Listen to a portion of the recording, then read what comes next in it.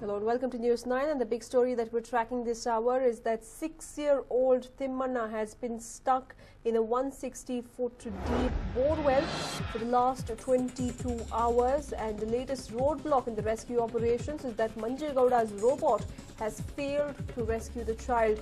Rescue workers are looking for other options now. Uh, Manjegowda was called in from Mandya along with the robot that he said could rescue children but uh, major roadblocks in front of them in the form of the fact that the child is almost 160 feet deep in the bore well and also the robot is slightly broad to enter below the 100 feet depth.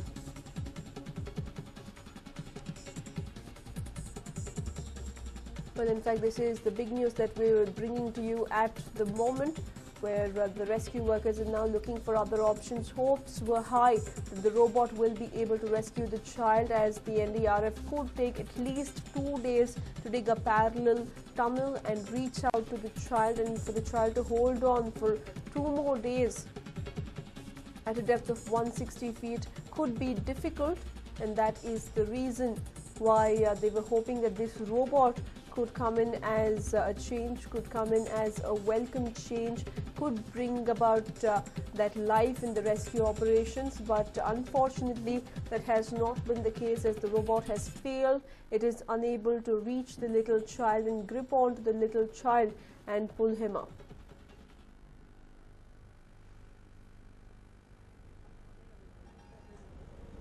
Well, my colleague uh, Arun joins us with more details on this. Well, uh, Arun, if you can just take us through the details as to why exactly this robot did not work. There is uh, one major reason being attributed for this, uh, Nishchita. It said that the robot uh, perhaps was not uh, wide enough to go inside the uh, borewell. Remember, uh, it had in the earlier attempt been able to go up to about uh, 120 odd feet, but then uh, there was a malfunction, and uh, then it had to be extracted out. Now we are given to believe that uh, the robot's functioning itself is now come under a bit of cloud because remember the uh, inventor of the robot Manje Gowda had gone on record to suggest that uh, he had never used the robot uh, in a live operation. That is uh, it had never been used uh, so far in rescuing a child which had stuck which was stuck inside a borewell and they had only used a dummy or a doll. So uh, clearly that could have had a, uh, had an influence on the decision to call off the robot's used during the rescue operations, uh, Nishchita. Right, uh, and also now we understand that uh, the Rural Development Minister H.K. Patil has come down heavily on the government officials, on the PDO as well as the other officials involved in this particular case. What are the steps being taken and how far will they be effective, uh, Arun? The government is clearly embarrassed. It is uh, completely pushed to the wall because there have been two successive uh, incidents where uh, uh, young children, in fact below the age of eight, have fallen into borewells and they have died. Remember, there was one incident of a girl uh, recently in Bijapur uh, where the four-year-old child fell into the borewell and she was brought out dead. And then there have been several such instances in 2007, 2009, etc. So clearly the uh, government is now left red-faced and that's the reason why it has issued these guidelines on uh, what needs to be done. In fact, these are very strict guidelines which have to be uh, enforced at the village level by the respective uh, officials concerned. The guidelines basically operate on four principles. One is to get uh, to have the government officials at the Gram Panchayat level know for sure how many borewells are in existence in their respective panchayat uh, limits and whether these borewells are owned by the government or are operated by private people. And the most significant or most important guideline is on closure of dry or uh, unused borewells. Remember, there are quite a lot of wells which have dried up because uh, water, uh, either the water tables have depleted uh, far below, or uh, there is not enough water itself. So um, th- those uh, dry or uh, unused borewells need to be immediately closed because they could pose a serious threat to the lives of not just children but also of commoners because anyone could slip into one of these borewells. There is very little by way of protective uh, construction that happens for these kind of borewells. That's the second and most important um, or significant observation. The third observation relates to uh, what is the ru- uh, duty, rules, and responsibilities of owners of private borewells. Because remember, there are quite a lot of uh, private borewells in operation across the uh, state, and the owners to close the uh, the unused uh, or dried up private borewell lies with the private owner. And if he is found uh, wanting on this particular task, then not only will he be taken to task, but even the person who excavated the the borewell company which uh, excavated that borewell will that owner also will be held responsible. So that is the other more most important uh, development on that count. And more importantly, the uh, guidelines also now mandate that there should be an NOC or a no objection certificate which needs to be obtained by any person, any private person who is desirous of uh, uh, egg, um, sinking a borewell.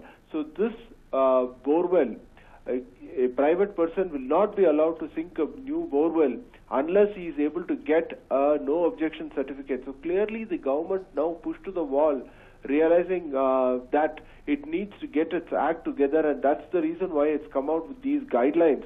So clearly at this point of time, uh, first question is uh, the government gets information um, it has a 10 day window to get information on all the borewells in operation in a particular gram panchayat limit. Um, it is able to maintain a database. Second thing is to close down the uh, uh, dried up or uh, wasted borewell.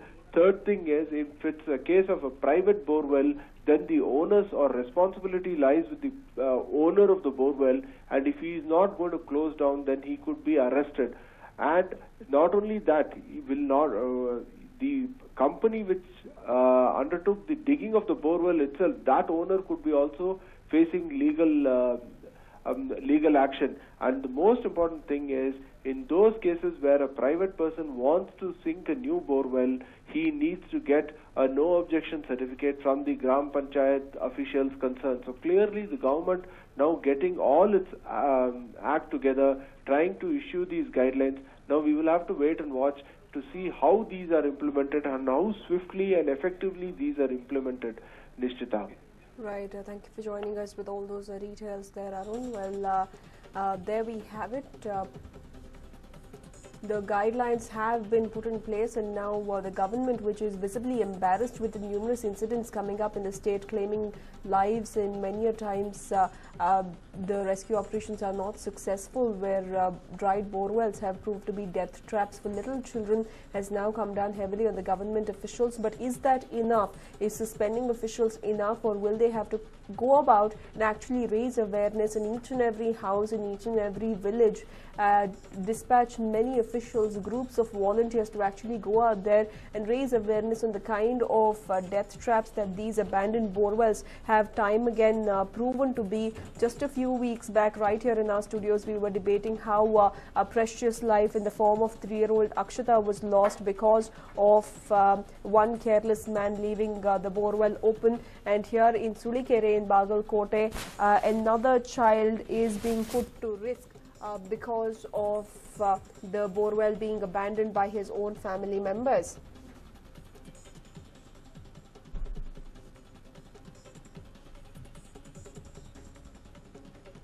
In fact, earlier we even caught up with uh, the parents, the father of the little child, and he is absolutely inconsolable. In fact, uh, the father is uh, going on to state that uh, they are uh, in a position where they're willing to give in anything, do anything uh, to rescue their little one. Six-year-old Timmanna was uh, playing in his field when he accidentally slipped and fell into the bore Well, Well, when we spoke to a few experts previously, they went on to state how because of uh, the recent digging or because of the fresh digging of the bore well, there might be a lot of clay around the region and clay is extremely slippery and because of the moisture in the soil thanks to the incessant rainfall, the child must have slipped and fallen inside. And though he initially was stuck at a depth of uh, 10 feet, He later fell to 60 feet and then 130 and now he is at 160 feet. 160 is extremely deep for the child to be stuck and then for the rescue operations to actually reach out to him.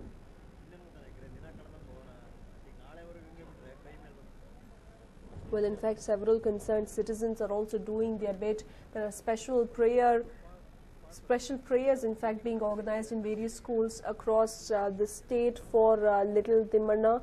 The schools have been gathering all uh, the students and they're offering prayers by lighting candles. Even in the assembly session, we saw several offer prayers for uh, the good health of uh, as uh, many children, schools, many people across the state seem shocked that in such a short span of time, are we looking at the possibility of losing another life to another case of negligence on part of the officials as well as the people themselves to leave a borewell open.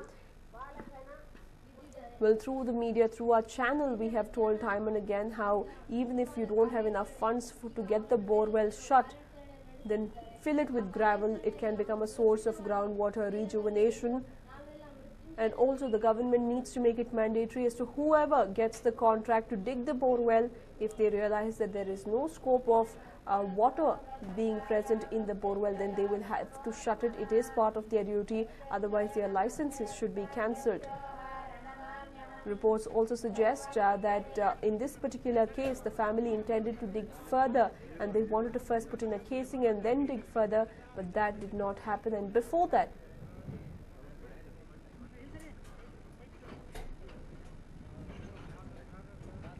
we have uh, a caller joining us over the phone line, a concerned citizen from Rajgopal Nagar.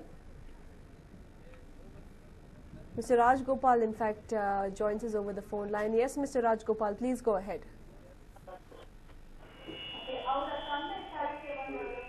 Mr. Rajgopal, if you can hear us, can you please mute your television set and please go ahead and share your views?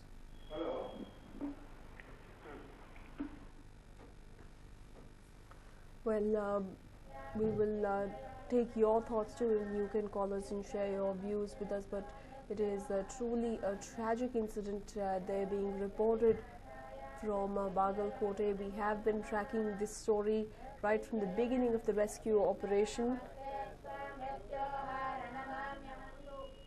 We have a caller, Rajgopal, now who joins us over the phone line. Yes, uh, Mr. Rajgopal, what do you have to say?